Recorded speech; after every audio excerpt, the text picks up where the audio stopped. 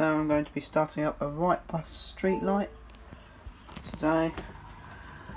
So, battery master over here.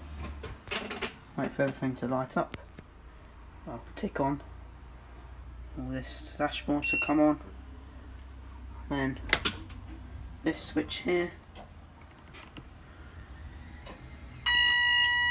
Wait for everything to go off. And you press this round button. All comes on.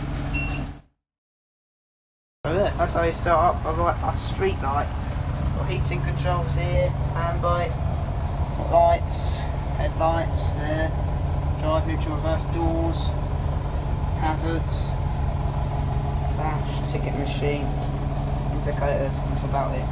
Bye bye.